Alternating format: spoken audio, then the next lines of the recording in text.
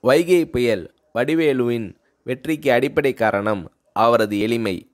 அந்த எளிமைதான் வடிவேலு அவர்களிடம் எல்லோருக்கும் நட்பு கொள்ளவும் அன்பு காட்டவும் காரணம் எனலாம் எளிமையான பேச்சு எளிமையாக பழகும் தன்மை எல்லோரும் புரிந்து ரசிக்கும்படியான வகையில் அமைக்கும் காமெடியில் ஒரு எளிமை. ஒரு கிராமத்து வெள்ளை மனம் வடிவேலவர்களிடம் உள்ளது. இயல்பு மீறாத காமெடி அதற்கு ஏற்ற உடை இப்படி வடிவேல் அவர்கள் இயல்பாக எளிமையாக இருப்பதால் தானே பிறருடைய மனதை ஜெயிக்க முடிகிறது.